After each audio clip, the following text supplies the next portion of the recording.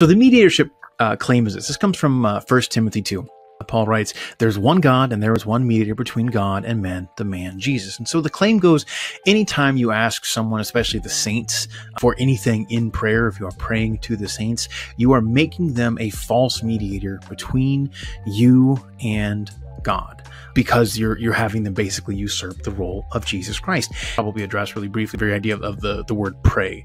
It's an older English uh, phrase, and the word pray just means to ask, right? So um, if it makes better sense, just say ask of the saints to pray for you, ask of the saints to intercede for you. Um, but here's the issue with this very passage, and then it's it's, it's ripped out of context because um, if you just go back a few verses, uh, you'll see the full context of what Paul says, and literally in the same what would be the same breath. First of all, I then urge that supplications and prayers and intercessions and thanksgiving be made for all men for kings and for all who are in high positions, that we may lead a quiet and peaceable life, godly and respectful in every way.